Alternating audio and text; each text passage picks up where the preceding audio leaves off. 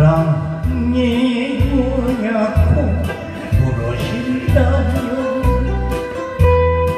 눈물의 씨앗이라고 말하겠어요. 모는 날 반시 나를 버리지 않겠어요?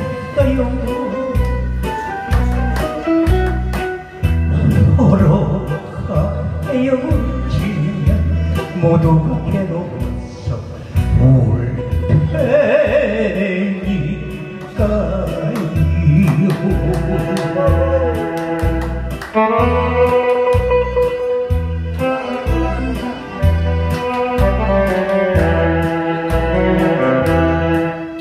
테니까요 다음에는 강영진이 준비해주세요.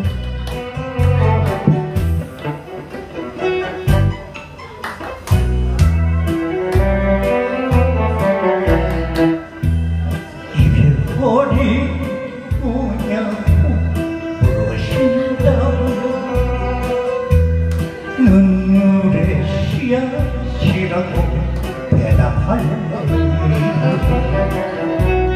오는 날 당신이 나를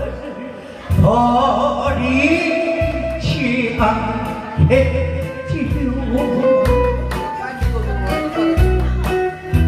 서로가 헤어지면 모두가